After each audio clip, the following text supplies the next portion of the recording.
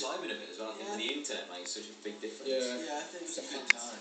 I think there's usually there's usually like waves of times where like British acts work in America and then for a bit they won't and then I think it's kind of time where they do again. You know, there's loads of people like Adele, Ed Sheeran all going over there and The right it's kind of at working. right So obviously the fans over there, like Louis said, you know they've been absolutely amazing and you know when we went over we didn't expect them to be in quite that amount of numbers and then you know they were amazing supporting us over there. It was great. We just thought it was the the best like song out of the album that represented us best and just the whole sound that we were kind of going for. Kicked off the album. It's, Yeah, it's a it's a good, good link in between the last album and this album. yeah, it's not too different, and I think it's a good message. Like for us, like for the band that we are, I think it's the right, yeah, the right message for Yeah. for, for us. I know what I'm saying.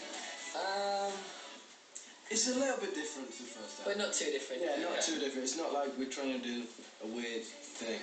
But um no, This is a weird thing. I think like yeah, I think it's like Same as the next album. It's a weird the music has to grow up as we go. Yeah. So it's, it is a little bit different. Um, we had a, a bit a lot more input on this album than we Yeah. did on the last one.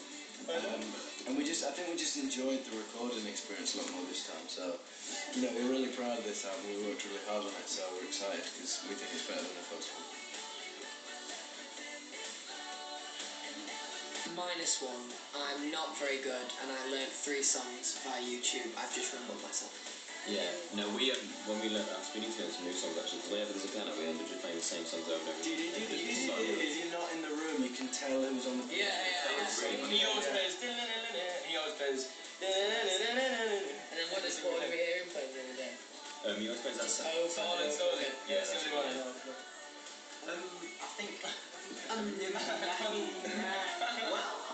No, I think um, the show's just generally a bit bigger because I mean last show we didn't really know that we were going to be like taking the tour everywhere. We thought we were just going to be doing a few shows in the UK, so we only made the, the tour quite small to then branch up to something big. So this time we've gone straight in with something really big, a nice big like production, things that run around and jump on and like